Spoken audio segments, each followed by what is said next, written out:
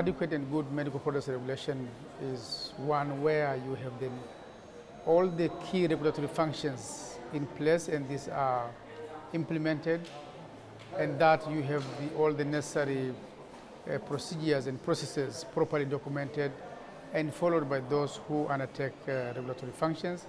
and also you have the necessary uh, uh expertise within the regulatory agency uh, who will be undertaking uh, these functions. So, of course, all this is backed by adequate legislation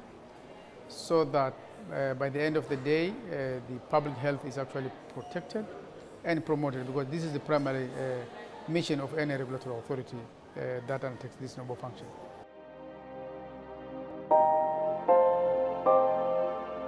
People would be at risk of accessing products that are not safe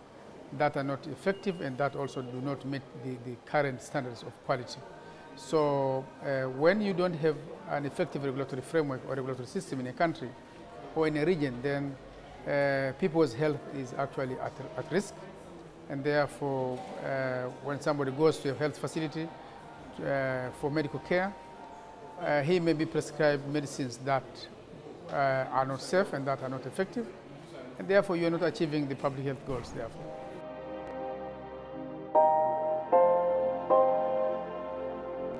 Yeah, regulatory harmonization is bringing uh, uh, countries and regions together uh, to undertake uh, medicines regulation work uh, by leveraging the, the, the, the uh, limited resources that are available.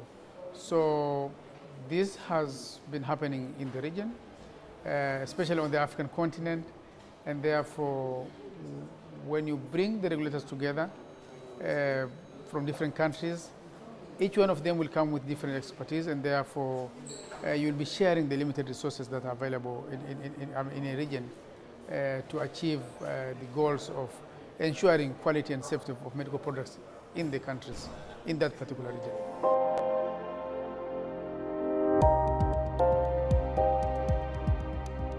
From the start of this program, uh, uh, if the benchmark is the East African community, therefore, which launched this program in 2012, we have had a long way of developing the standards. So my